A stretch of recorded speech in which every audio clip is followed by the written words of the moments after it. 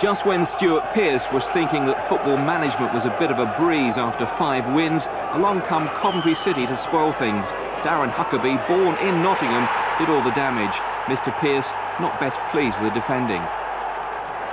Forest, watched by Brian Clough, couldn't quite raise their game. They came mighty close though. Ian Woan's shot pushed onto a post by Ogrizovic. It was just one of those nights for Forest.